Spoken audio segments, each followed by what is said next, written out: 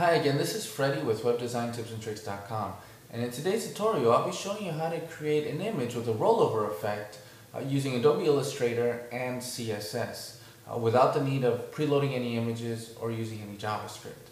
Now to give you an idea of what I'm talking about, you can see here on, on my screen, on my monitor, how I created a home button with the normal state of it being in a dark brown and the hover state of it being in a light brown or a tan. So let me go ahead and show you how to do this. Okay. Now first of all we open up uh, Adobe Illustrator and we're going to create a new document and we're going to call this home button. Okay. Now we're going to make it 240 pixels wide by 40 pixels high. I'm going to zoom out just a little bit so that you can see what I'm going to do here. Go ahead and select the rounded rectangle tool. I'll go ahead and click anywhere. And we'll want to make this button 120 pixels by 40 pixels with a corner radius of 4 pixels. You can choose whatever you like, but in, in this instance, we're going to be using 4 pixels. Okay. You'll notice here that I, create, I created my button here on the on the canvas, and I'll be I want the stroke to be aligned inside of the button and I want to change the color of the button to a dark brown. I'm going to line it all the way to the left. We create some text. Just put home there. Oh, or maybe just a little bit bigger. Make it 18 points. I'm going to try to center it as much as I can there in the button. I'm going to change the color to white so that it's a little bit more visible. Now I just created the normal state of the button. Now I'm going to create the hover state. Go to edit, copy. If you click on paste, it's just going to paste right in the center of the document. Okay. This one we're going to shimmy it all the way over to the right and create the hover state. We're going to go ahead and set the background to a light tan. In Illustrator, that's all you need to do. Very uh, straightforward, very simple. We've already created both the normal state and the hover state of the button. So we're going to go ahead and save this. File, save for web and devices. We're going to save it as a JPEG. Go ahead and save it. And I've already created the folders for this um, for this uh, tutorial under CSS rollover, images, and we're going to go ahead and save it as homebutton.jpg. Let's go ahead and save that. Replace it. Okay. close this. I'm not going to save the Illustrator file because I just need the image. Okay. Now let's do the HTML for it.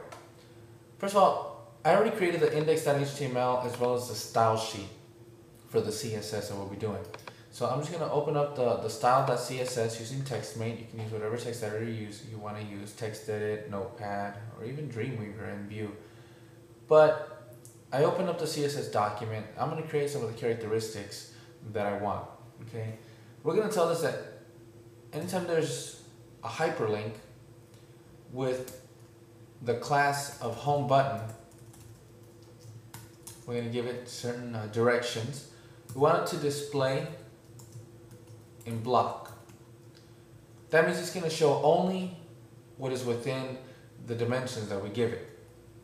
For example, the dimension we're going to give it is the width of 120 pixels, a height of 40 pixels. Okay, that's the size of our button.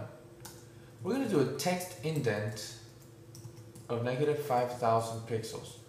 This is so that the text of the link won't be visible. It'll be shimmied over 5,000 pixels. It'll be off the screen. That way you will only be able to see the image for the link. And you'll understand this later. But now we want to go ahead and send the, the background, want the image that we made. So we'll use the URL images folder, home, home button, .jpg. Okay?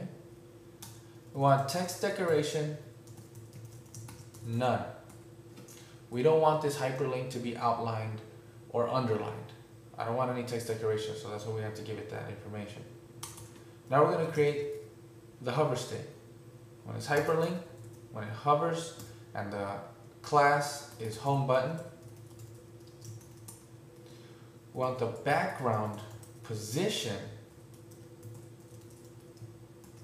to move over to the left 120 pixels. I'm sorry, to the right 120 pixels. We don't want it to move up and down, so we'll put zero. Okay. That's all you need for the CSS. We'll go ahead and save this file. Just go ahead, file, save. Okay, we'll go ahead and close that. Now let's go to the index file. Gonna uh, open this up with TextMate. Okay, first of all, we're gonna name this home button. And I wanna make reference to the CSS style sheet. So I wanna link this index.html over to my style sheet. So I'm gonna go ahead and create a link and type is text CSS and we're going to put rel style sheet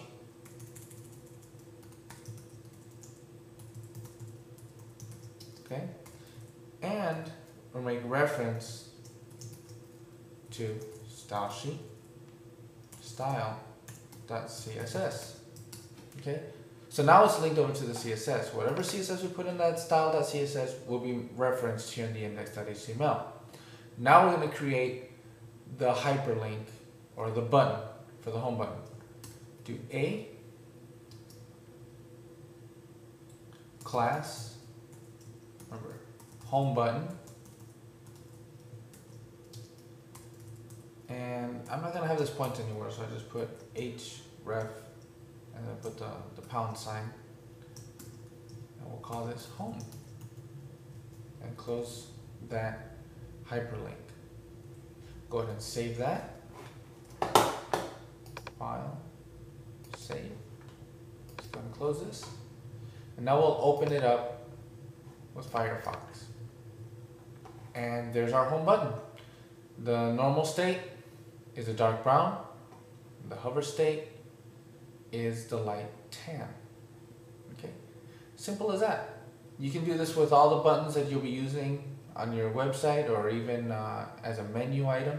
Okay, but simple as that. I'll go ahead and uh, add these images, uh, add these files uh, in my blog post. But if if you'd like to comment on my blog, go ahead and feel free. Again, this is Freddie with WebDesignTipsAndTricks.com, and I hope this helps you out. Thanks. Have a great day. Bye bye.